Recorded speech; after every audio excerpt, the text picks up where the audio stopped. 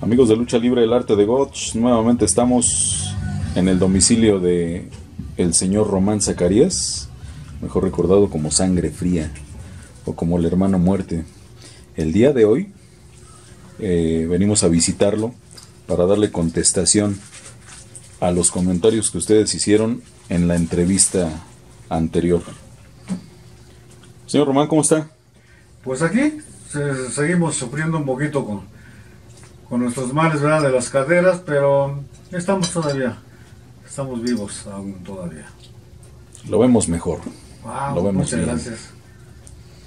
Bueno, pues como, como le había comentado, eh, le voy a leer los comentarios que la gente hizo de su entrevista. Eh, y- Adelante, y adelante. empezamos. Adelante, estamos para servirle a todo el público. Aquí quien, eh, bueno, en su en su nombre pone más que mucha lucha. Al parecer es un es un canal donde se dedican a hacer este reportajes también. Dice, señor Román Zacarías, un saludo muy afectuoso de más que mucha lucha. Se le admira y respeta, hoy portando esa máscara que combina a sus dos emblemáticos personajes que le inmortalizaron. Bueno, de eso, esta es, es la máscara exactamente que estamos portando ahorita. La, la hicimos por esta, por dos razones. Una, para escenificar los dos personajes de Sangre Fría y de, y de los Hermanos Muerte. Y por el, el motivo de que yo usaba la de Sangre Fría y querían una foto, y lo querían con el, el Hermano Muerte, y yo tenía que estarme cambiando máscara y todo eso. Para, para darle gusto al público, siempre mejor hicimos este, eh, este tipo, Una fusión, una buena combinación. una combinación, y, y creo que ahí, ahí estamos, ¿no? Bueno, dice quien, quien como nombre tiene en su canal GGG, bueno, triple G. Dice, recuerdazo en los setentas con su pareja chicano Power, señorón. Creo fue Las Charro su verdugo, pero muy recio. Vivía en una cerrada de la Pensil, la calle que sale de la torre de Pemex. Una bendición al profe, sangre fría. Bueno, sí, efectivamente yo viví cerca de donde dice esta persona, a unos 10 minutos quizás. Eh, adelante, un poco para adelante de esa calle donde dice la torre de Pemex, está un parque que es el José María Morelos y Pavón. Yo vivía exactamente ahí como a, la, cuatro calles, que es la mera colonia Pensil. Ahí en, en Lago San Pedro, viví en Lago Ness, en Lago Atitlán, en Lago Chapultepec. Ahí, ahí me pasé la mayor parte de mi vida, desde los dos años hasta, hasta 50, 50 años más. O sea que efectivamente vivía usted ahí en la Pensil. Ahí me edito. Frank Hernández nos dice otro gran trabajo, amigo mío. Gracias por traernos estas grandes leyendas de lo que fue la verdadera lucha libre. Gracias, Frank. Bueno, de eso, de la verdadera lucha libre, para todos ustedes amigos, con toda la frente muy en alto, yo fui un luchador profesional con todas las palabras, nada más. No soy, no soy más, más que eso, un luchador profesional, como todos los demás compañeros de esa época que nos entregamos al 100% o quizás al 1000%. Por eso estamos como estamos, estamos todos eh, amorados de los huesos. Yo estoy muy mal de las dos caderas, no tengo cartílagos y cinco discos herniados. Eso, eso nos dejó la lucha libre porque era lucha de verdad. Entonces sí, en realidad, pues yo fui un luchador profesional, nada más, no soy leyenda, no soy nada. Simplemente un luchador profesional, amigo de todos ustedes. Roger PC nos dice, híjoles, Alegua es una persona recia, como las que eran antes. Aún recuerdo esas revistas viejitas donde lo veía allá en mi infancia. Un abrazo para el señor. Bueno, pues muchas gracias por, pues por todo eso que, que nos dice de alguna manera en algunas revistas. Eso de un luchador recio, bueno, pues todo, en esa época todos éramos luchadores recio. Eh, teníamos que tener apariencia y parecer un luchador. Entonces, es, gracias por tu comentario, amigo. Halcón Cruz dice, gracias por este trabajo al arte de Gotch, sangre fría, luchador rudo de una calidad excelsa. Sigue con esta estupenda serie de entrevistas. Ahora que don Román Zacarías habló de la lechuza, Gori Casanova, me vienen a la mente atletas de las arenas de la periferia de los años 60 y 70, como Conde Azul, Flashman, El Delfín, El Gitano, Cienfuegos, Gaona, etc. Ojalá pudieran dar testimonio de sus carreras. Suerte, nos dice el Halcón Cruz. No, pues mira, mi amigo Halcón Cruz, eh, dijiste nombres de unos luchadores, grandes luchadores como Gaona, como, como la lechuza, como Gori Casanova, Dick Angelo, Redman. Eh, en ese tiempo ya estaba, ya estaba floreciendo el matemático. De, de esa temporada. Claro que sí, siempre, siempre todos dimos a más del cine, ¿no? Y es verdad, puro luchador, hecho y derecho. Eduardo Julio nos dice, como siempre, excelentes entrevistas a estos luchadores que en la mayoría de todos los... Me quiero imaginar que quiso poner en la memoria, en la memoria de todos los aficionados formaron parte de nuestra infancia. Saludos a todos. Bueno, muchas gracias por el comentario, amigo. Lógicamente todos tuvimos una niñez, una juventud, y como a mí me tocó ver todavía joven a, el Mascaro de Plata al Santo, a un rayo de Jalisco que desgraciadamente, bueno, pues nos acaba de abandonar, pero gente que, para mí, unas verdaderas leyendas, unas verdaderas leyendas, todos tuvimos una infancia en la cual nos veíamos un luchador y para nosotros eran nuestros ídolos y, pues, no, no, existía más para nosotros que ver a un luchador de esa talla. El Gavilán de Ciudad Neza nos dice excelente entrevista, un auténtico reconocimiento a estas figuras de nuestra lucha libre. Gracias por regalarnos estas joyas. Muchas gracias, el Gavilán de Ciudad Neza. Ah, de Neza, mi buen amigo Gavilán. Bueno, pues de Neza, yo en otra época, no como sangre fría, pero en mis, inicios, yo luché mucho en esa arena Neza. Después fuimos de parte de los hermanos muertes, luchamos bastante ahí en la Neza. Qué bueno, qué bueno que que pues que tengas ese, ese gusto por la lucha libre. Alfonso Martínez, que es un seguidor eh, continuo de la, de la página, nos dice, ¿dónde puedo comprar la máscara del hermano muerte? Bueno, ahorita amigo, gracias por el comentario. Ahorita hay una, una parte donde la puedes conseguir, que es eh, Dinastía Hermanos Muerte Tienda. Y te puedes dirigir a, a, Carlos FH, si, si, es posible, después te mando el teléfono y, ahí puedes adquirir la original, original de los hermanos muertos. Ellos son sus distribuidores, ¿verdad? Sí, son los distribuidores ahorita en este momento. Saúl Rodríguez nos dice la máscara del hermano muerte está chida, dice. Ah, está chida. Pues si a ti te gustó, pues a mí también. Mira, ah, yo soy el hermano muerte 1, el hermano muerte primero, pero mm, no se van a engañar ni a un, a un aficionado ni a nadie. Yo fui la segunda versión. Eh, los originales fue José Velázquez Tito y, José Silva, el Jarocho. Fueron los, hermanos muertos. A mí yo ya estaba en la lucha, me gustó mucho ese equipo, una máscara muy original que es la de este lado este lado, muerte.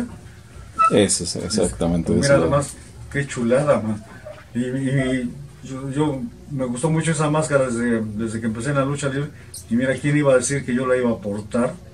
Y que iba yo a estar de luchador de los hermanos muerte, el cual me siento muy orgulloso. Y bueno, hicimos un buen, un buen papel ahí. Garrita Juan Juan dice, buen video. Gracias. Ah, Garrita Juan Juan. Así Pues muchas gracias. Eh, acá sacan buenos videos porque, eh, como dicen, no, no te puedes meter en ningún problema, pero no creo que también sea malo del arte, lucha libre del arte de Ghost. Bueno, pues sí, sí, la verdad sí sacan muy buenos videos, buenas entrevistas. ¿El por qué? Porque tienen buen material y son unos profesionales, la persona que está, que está sacando todos esos, esos videos. Bueno, pues mis respetos porque lo hace con mucho amor.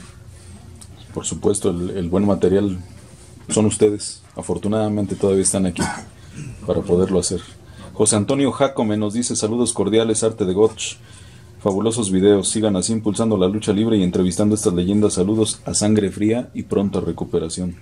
Pues muchas gracias de, por el deseo de la recuperación. Desgraciadamente lo mío es crónico degenerativo.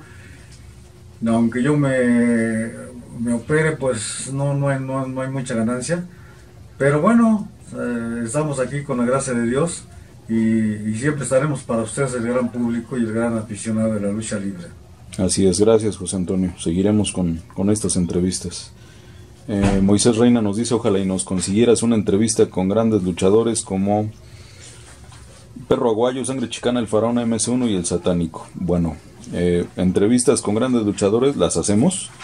Eh, desafortunadamente nos mencionas a MS1 que desafortunadamente ya no, ya está en la arena celestial. Y bueno, algunos otros que, que no viven precisamente aquí en la Ciudad de México, pero algo, algo podremos hacer. Jorge Díaz nos dice una de las más bonitas máscaras de la lucha libre mexicana. Bueno, muchas gracias. Si te refieres a la de sangre fría, bueno, en realidad sí, una máscara sencilla, que tuvo una gran promoción. Eh, desgraciadamente a mí en Japón me, me, tronaron, vamos a decirlo así, me lastimaron mucho la cadera derecha, en lo cual ya estaba, ya estaba el programa de la ruleta de la muerte y lógicamente yo ya no pude hacerme para atrás, en lo cual, bueno, ahí en, esa, en ese torneo me lastimaron y, pues perdí la máscara, pero sí es una máscara muy bonita, a mí me gusta mucho, como la del otro lado que es de los hermanos muerte. ¿En qué torneo fue este señor Román? Bueno, ese torneo, aquí está en 1975, en la, en la New, Japan, Pro, Pro Wrestling este fue el segundo torneo mundial de, lucha libre, lógicamente allá en Japón. Eh, me tocó la suerte de luchar con lo más grande que existe, Inoki, Sakaguchi, Kobayashi, todos ellos, eh, grandes luchadores, muy fuertes, una lucha de veras respetable, en el cual yo me vine completamente mal de mis huesos. Pero para mí fue un orgullo haber ido a Japón representando a México porque fui el único, en ese, en, ese torneo, el único mexicano que estaba ahí como mis máscaras, que fue también el solo. Entonces, esto me traje un tercer lugar en este torneo. Este es, este es lo que avala, ese tercer mundial. Ah, no tengo la, la medalla, que es una medalla muy, buena, aunque no me lo crean que es de oro eh, evaluando el tercer lugar de este torneo. Sí, me consta, ¿eh? ahorita le digo, a lo mejor digo algo que no debería decir, pero bueno, ahorita uno de sus hijos nos comentaba que precisamente estaba en casa de uno de sus nietos. sí, en casa de mi nieto Orlando, no, ni modo decirles que no, bueno, andan, andan enseñando allá al abuelo y todo eso, bueno, por ahí está la medalla. En otra ocasión, que, que ojalá se preste la ocasión, pues vamos a enseñar la medalla, vamos a enseñar algunas fotos de allá de Japón, y bueno, pues aquí estamos todos maltrechos por, porque como aquí también la lucha libre mexicana es fantástica, emocionante, pero en Japón es completamente dura. Eh, Calimán 2168 nos dice, órale, yo viví en la Pensil por los 70 por Casa Amarilla. Casa Amarilla, mi hermano, hombre, ahí cerca de, cerca de la Lupita, de la iglesia de la Lupita, como no, hombre, ahí yo viví en, la, en Lago Ness y viví en Lago Granoso, pues yo creo que tengas, tengas todo de, que te recuerdes. Ahí cerca de, Lago Jimilpa, de Tauleve, pero Casa Amarilla, caray, no, no sé si me olvidé, me esté mal, pero ahí era donde estaba también cerca hay una, una vecina que se llamaba El Tostón, eran de puro, pura gente recia, ¿no?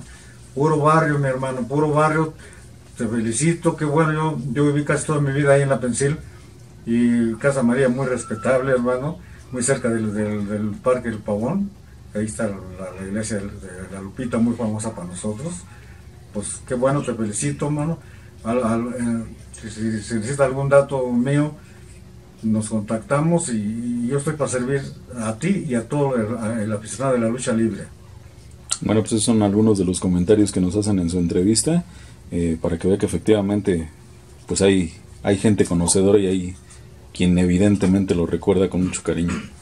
Claro que sí, eh, qué bueno que hay, mucha gente que, que, recuerda, muchos por revista, muchos porque nos vieron. Yo mando un saludo muy especial para todos los que hicieron preguntas, a todos ustedes amigos, a los que vivieron cerca de mí y a los que no. Yo, ¿qué más? Les agradezco toda su gentileza, les agradezco sus buenos deseos y, y, les agradezco que sigan siendo aficionados a la lucha libre. ¿Y qué puedo decirles? Que Dios los bendiga, pero por siempre. Bueno, estamos a, dos, dos, días escasos de, del fallecimiento del Rayo de Jalisco. Usted tuvo una lucha importante con precisamente con, con don Max Linares, eh, donde pierde usted la máscara del hermano muerte. Él iba precisamente en compañía de Huracán Ramírez. De Huracán Ramírez. Y usted evidentemente pues de su, de su pareja, el, hermano muerte primero, ¿verdad? Dos. dos. Yo era, yo era el primero. Cuéntenos, cuéntenos un poquito de, pues sí, de, del fallecido Rayo de Jalisco. Primeramente, en paz descanse nuestro buen amigo el Rayo de Jalisco. Que Dios los tenga en santa gloria. Un gran luchador, eh, carismático, em, eh, embrujaba con un solo movimiento. Gran luchador, de verdad. para mí, yo había luchado varias veces con, con Max muy buen luchador siempre que nos, que nos tocó luchar. En esta ocasión fue eh, por, las máscaras, ¿verdad? más experiencia, ¿verdad? El Rayo de Jalisco. Muy querido por todo el público, por todos de aquí, de Guadalajara, Monterrey, de toda la República Mexicana. Un gran luchador.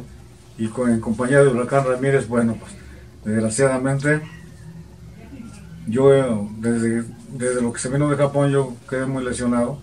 Me volvieron a encontrar la falla, pero no tanto eso, sino que el Radio Jalisco, mis respetos, una verdadera leyenda, un, quizás un ídolo para mí. Pero, pues, ¿qué, puedo, qué más decir, qué más decir del Radio de Jalisco? Un señorón de la lucha libre como el santo después es el Rayo de Jalisco. Bueno, pues vemos Rayo de Jalisco desgraciadamente nos dejó la última, la última luminaria, pero de los grandes ídolos y leyendas, verdaderas leyendas de la lucha libre. Mi respeto, mi admiración para, para el señor Más Linares, Rayo de Jalisco. Paz descanse. Bueno, y aprovechando que estamos aquí, que tenemos la fortuna de estar aquí en su domicilio, el día de hoy está eh, uno de sus compañeros de la Sultana del Norte, Jim Cata. Jim Cata, mi hermano, bienvenido Jim Cata. Pues permíteme tantito. Bienvenido, amigo. Gracias, gracias. Vino desde Monterrey Así es. a esta entrevista. Le agradecemos que haya venido. Gracias. Es, un gran amigo mío y amigo de la casa. Mi hermano, te quedas con, el, con la lucha libre y el arte del gosh. Claro que sí.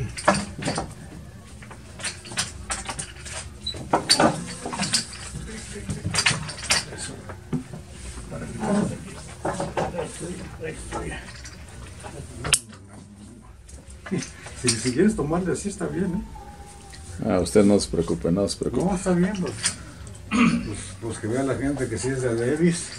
Para que efectivamente, pues, la gente pueda constatar que, pues, que aquí está la, aquí está la verdad de la lucha libre. Ay, amigos. Dios me los bendiga.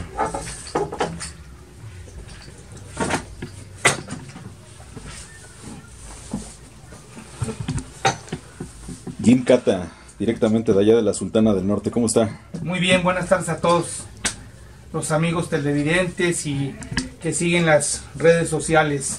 Muy contento de estar aquí en la Ciudad de México y en la casa de, mi amigo Sangre Fría. Bueno, eh, había un antecesor eh, de Jim Cata, un, eh, luchador con el mismo nombre. Cuéntenos un poquitito. Sí, este, había un primer Jim Cata que era del señor de Villahermosa, Tabasco. Él empezó en los 70s y se, se retira en el 88. Y coincidentemente yo en 1987 es cuando debuto y con el paso del tiempo en, en el 88 me doy cuenta que había un Jim Cata en, que no tenía nada que ver con ni con mi diseño, ni con mi equipo, ni familiar, ni nada, pero un excelente señor que no hubo ningún problema nunca. Eh, ¿Su personaje es basado también en una película del mismo nombre? Sí, este, la idea surgió porque eh, yo desde niño estuve en el Wushu y al ver una película que sale en 1985, a finales del 85, como de Jim Kata, era un arte marcialista que combinaba la gimnasia con el karate, a mí me gusta el nombre, adopto el personaje y en 1987 debuto. Eh, siempre usé máscara, desde un principio mi primer lucha fue, fue el único nombre que tuve, Jim Kata, y siempre desde mi primer lucha fue enmascarado.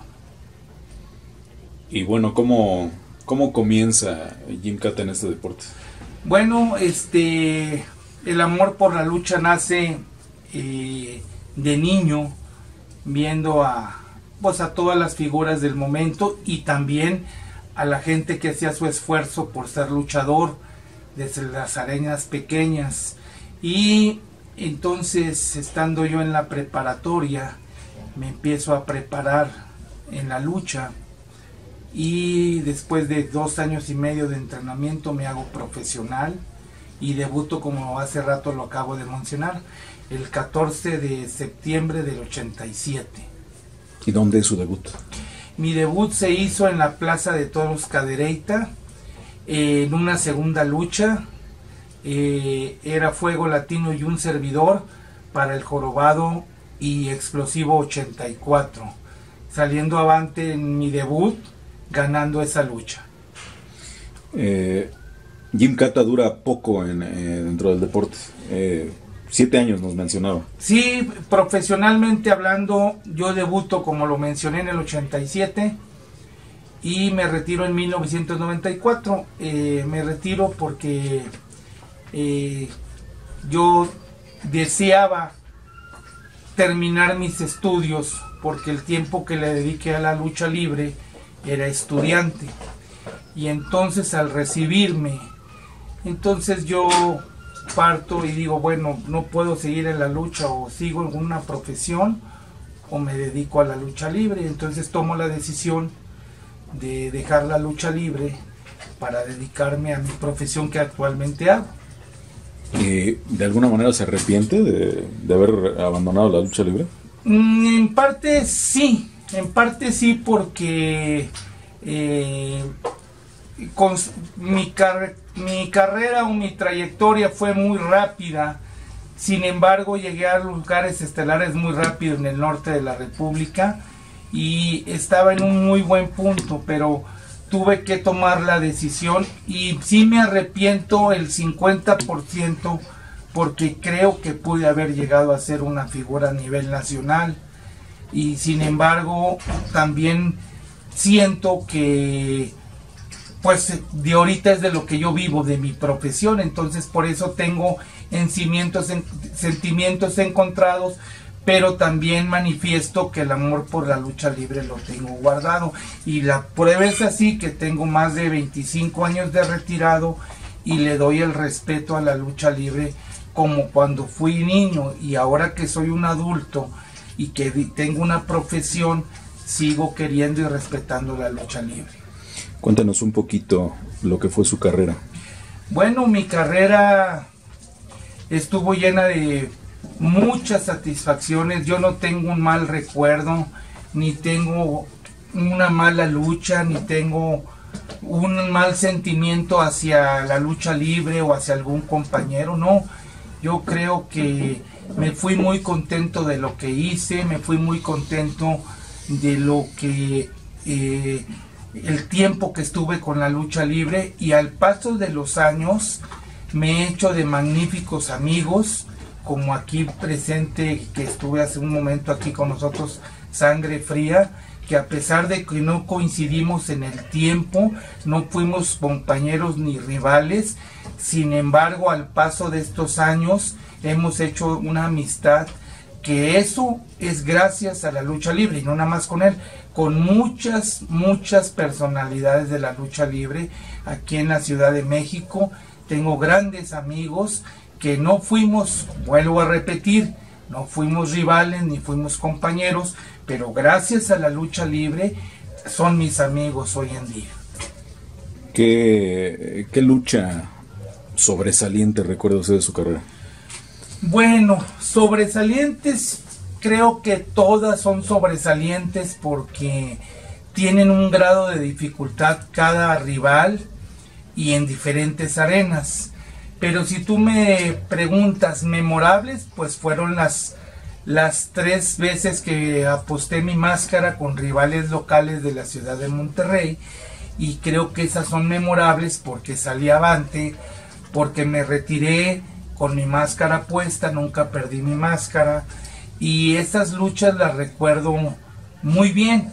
En el 88, al año de tener un año profesional, destapo en la Plaza de Toros Cadereyta al Jorobado. En 1991 destapo al Búfalo Negro en la, en la arena José Suleimán. Y en 1993 en Culiacán, Sinaloa, destapo al Ave Negra. Eh, son trofeos para mí significativos y satisfacciones que me dieron porque tuve el gusto de conocer parte de la República Mexicana. Nos platicaba de las, de las máscaras logradas eh, en el, en el tiempo en el que usted se dedicó a la lucha libre. ¿Los campeonatos llegaron a su cintura? No, desafortunadamente no, tu, no fui campeón de ninguna división. Este, sin embargo, tuve memorables, como te digo, encuentros como lo de máscaras. Sin embargo, creo que estuve en el gusto del público y yo pienso que si hubiera estado más tiempo en la lucha libre hubiera podido tener algún campeonato, pero desafortunadamente no pude ser campeón.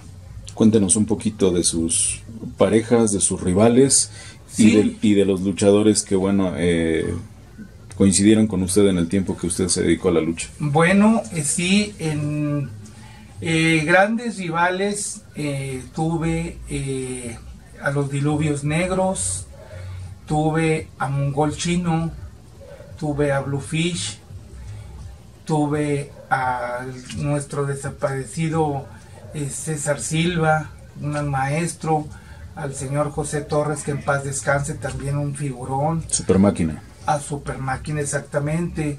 Eh, a nuestro amigo y rival, desafortunadamente acaba de irse este año, a Jungla Negra.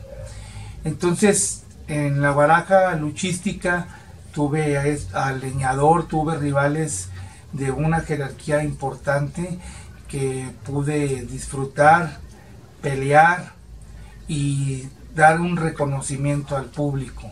Estos fueron mis rivales, mis parejas memorables que yo recuerdo, pues primero que nada, los dragones chinos. Ellos iban mucho para Monterrey y hacíamos tercia, los dos dragones chinos y un servidor. Los ángeles del espacio, que el segundo luego se convirtió en Silver Star, también un buen elemento y buen compañero y buen amigo. También tuve de pareja el mejor, para mi opinión y mi corazón, a mi amigo Kung Fu, que en paz descanse. Él también estuvo mucho tiempo en Monterrey en las campañas allá y tuve el gusto de luchar muchas veces con él, con parte de mi inspiración y un gran amigo con Kung Fu. Eh, ahora sí que vamos la crema innata de la Sultana del Norte. Así es. Y bueno, hoy es usted un buen aportador eh, de muchos recuerdos y muchas cuestiones en la lucha libre. Es usted un buen coleccionista. Bueno, este, ¿quién lo iba a decir que siendo un niño, este, pues fui un niño cuidadoso porque eh, como todo niño que nos gusta la lucha libre, yo almacenaba algunas revistas, algunos póster, algunos eh, muñecos, algunas máscaras. Tengo, desafortunadamente, no puedo mostrar aquí porque no, no lo atraje. Tengo una máscara que tengo mucho cariño y que lo sabe mi amigo Sangre Fría. Tengo una máscara que compré cuando yo tenía 7 años en la Coliseo de Guadalajara de Sangre Fría y la conservo con mucho cariño como algunas otras más máscaras en aquellos años de niño. Y al paso de los años, al serme yo profesional, pues tuve la fortuna de intercambiar mis máscaras con otras máscaras de otros compañeros y yo me pude hacer de muchas máscaras muy importantes que ahora conservo con mucho cariño. Y que, bueno, igual, no sé si lo quiera mencionar, igual no. Eh, vamos, el cariño por la lucha libre continúa porque tiene usted algunos planes con respecto a la lucha libre. Sí, fíjate que para los amigos de las redes sociales, este, eh, tenemos un proyecto ahí que queremos hacer, eh, que en este año, si Dios lo permite, podamos llevarlo a cabo, precisamente por el cariño y amor que le tenemos a la lucha libre, queremos hacer algo. Eh, en Monterrey, la gente todavía no lo sabe, más que mis compañeros. En Monterrey vamos a poner un museo de lucha libre en diciembre y parte de lo que yo conservo con mucho cariño, como vuelvo a repetir, al paso de los años de siendo niño y luego de adulto y, y siguiendo todavía buscando piezas. Vamos a poner un museo en Monterrey en diciembre el lugar todavía no lo tenemos, ya tenemos lo más importante que es los acervos y el local está próximo a definir dónde va a ser, pero sí nos va a faltar paredes y espacio para lo que tengo en mi casa, que es la casa de la afición, de todo lo que conservo, porque me va a faltar espacio. Y lo que tratamos es de que en un futuro este es un va a ser un museo permanente no va a ser un museo que sea provisional. Vamos a hacer un museo que esté toda, todo el tiempo posible para que la gente, no nada más de Nuevo León, sino de cualquier estado de la República Mexicana, pueda ir a disfrutar ese museo. Y lo más importante es que ese museo no se le va a cobrar a la gente. Es un que la gente vaya a disfrutar culturalmente hablando un museo de lucha libre. Sí, o cualquier turista que llegue allá a Monterrey, ¿no?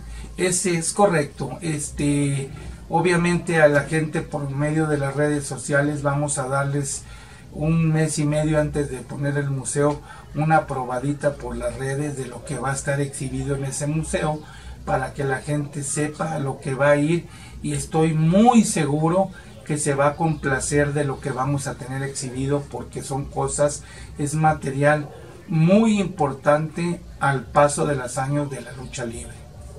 Bueno, tenemos la fortuna de, tener seguidores de Hueso Colorado de este deporte. Eh, hablando de redes sociales, eh, ¿por qué no nos da eh, sus redes sociales? Precisamente donde usted hace buenos aportes, precisamente de nuestra lucha libre. Sí, cómo no, este, a la gente trato de compartir lo que tengo, que disfrute como yo lo disfruto lo que guardo con mucho cariño, porque para eso es, para que se enseñe a la gente lo que uno tiene y lo disfrute. Y mi página de Facebook, así nada más es Jim Cata. Usted pone en el Facebook Jim Cata y le salen eh, las imágenes o lo que yo aporto a la lucha libre o parte de la colección que se tiene y cuando usted guste entrar a la página nada más accese y pone Jim Cata y entra inmediatamente a lo que he subido en las redes o la información que tengamos para que lo disfruten. Y hay, hay material muy bonito pero falta mucho material más muy valioso. muy valioso. Así es. Bueno pues algo más que nos quiera añadir. No pues nada más decirles a la afición que a toda la afición luchística que la lucha libre es un deporte muy bonito es un deporte me atrevo a decir que es en, lo que es en nuestro país, es el segundo deporte más visto después del fútbol.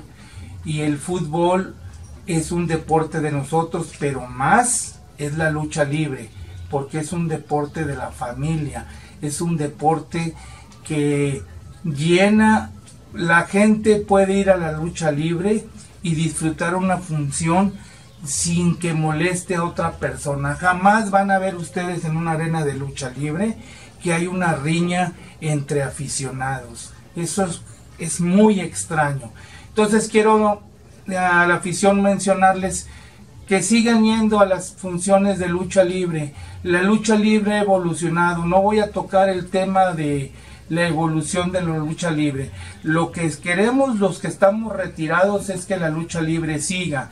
Y ahora que se declaró patrimonio cultural, la lucha libre va a volver a, a resplandecer como siempre lo ha tenido. Hemos tenido baches en la vida como cualquier humano ha tenido baches en la vida igual en nuestro deporte, pero nuestro deporte va a existir siempre, siempre va a existir la lucha libre. Entonces, pues un saludo a la afición y la verdad que Dios los bendiga. Y para aquellos aficionados que tuvieron la fortuna de verlo, para aquellos aficionados que lo recuerdan. Bueno, pues a la gente que a la gente que me hizo el favor de algún día regalarme una ovación o regalarme un abrazo o también si recriminaron alguna actitud de mi persona, no les me queda más que decirles, darles un fuerte abrazo y gracias por permitirme que hayan ido a ver una función donde yo participaba. Y lo más importante, que hayan salido satisfechos con el rendimiento de mi persona, que creo que siempre los luchadores siempre nos entregamos al 100% en nuestro trabajo pero lo más importante es que siempre vamos a tratar de a la gente darle lo que se merece. Y nosotros, los luchadores, debemos de ser las personas más humildes porque a quien nos debemos es al aficionado, es el que nos da de comer. Y el tiempo que yo me dediqué, mis siete años de profesional, yo le doy gracias a Cristo y a esa gente que iba a las funciones donde yo participaba, porque gracias a esa gente yo pude haber terminado una carrera universitaria. Gracias a esa gente fue cuando yo era estudiante, ellos me dieron para yo poderme recibir y ser un profesionista. Entonces no me queda más que darles un fuerte abrazo a la gente que me vio y que me dedicó su tiempo para ir a una función de lucha libre. Muchas gracias. Seguimos en contacto con, con Jim Cata y sus eh, buenos planes que tiene para lo futuro dentro de la lucha libre. Gracias y un saludo a todos y que Dios los bendiga.